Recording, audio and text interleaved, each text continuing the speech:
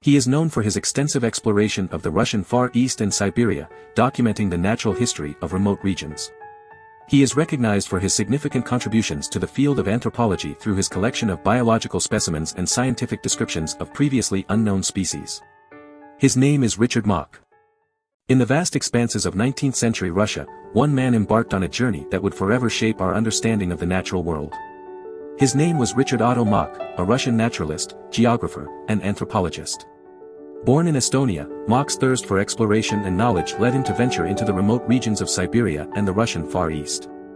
With determination in his heart and a passion for discovery, Maack documented the natural history of these uncharted territories. His scientific descriptions of the flora and fauna of Siberia were some of the first of their kind, shedding light on the rich biodiversity that lay hidden in its vast landscapes. He meticulously collected biological specimens, many of which turned out to be previously unknown species.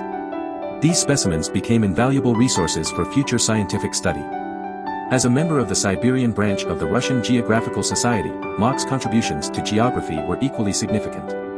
He thoroughly explored the Ussuri and Amur river valleys, mapping out the terrain and documenting the geographical features of these regions. His meticulous observations and detailed maps provided a foundation for future explorers and geographers to build upon. Richard Otto Maack's legacy as an explorer, scientist, and advocate for knowledge lives on. His groundbreaking work in Siberia and the Russian Far East not only expanded our understanding of the natural world but also served as an inspiration for future generations of scientists and explorers. His story reminds us of the importance of curiosity and the endless possibilities that await those who dare to venture into the unknown. In the 19th century, Richard Maack, a renowned natural scientist, embarked on a series of expeditions in Siberia, leaving an indelible mark on the field of botany.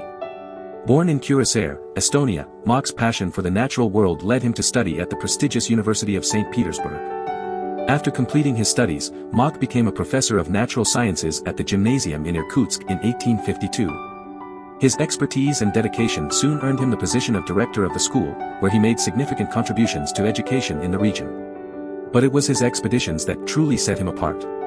During the 1850s, Maack ventured into the untamed wilderness of Siberia, exploring the Amur River Valley and the Ussuri River. These expeditions allowed him to study the orography, geology, and population of these regions, providing valuable insights into the natural world.